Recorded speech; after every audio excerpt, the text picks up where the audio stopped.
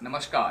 प्राथमिक कक्षाओं के छात्रों के अंक ज्ञान को जांचने, परखने और सुदृढ़ बनाने के लिए इस टीएलएम का निर्माण किया गया है। इस टीएलएम में अलग अलग तरह के हमने वर्ग बनाए गए, बनाए हैं, जो कि इकाई, दहाई, सैकड़ा, हज़ार, दस हज़ार, लाख, दस लाख और करोड़ को इंगित करते हैं। इन वर्ग के पीछे व्हील बनाए गए हैं, जिनके ऊपर हमने ज़ीरो से नाइन तक गिनती दर्ज की है।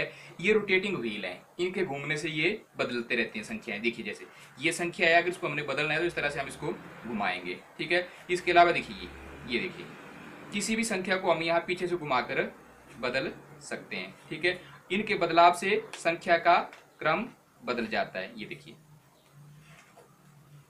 ये देखिए ये ये इस तरह से हम अलग अलग प्रकार की संख्याओं का निर्माण कर सकते हैं और दी हुई संख्याओं को पढ़ भी सकते हैं। बच्चे इसकी सहायता से खेल खेल में बड़े उत्साह के साथ संख्याओं का जो अपना ज्ञान है, उसमें वृद्धि कर सकते हैं। धन्यवाद।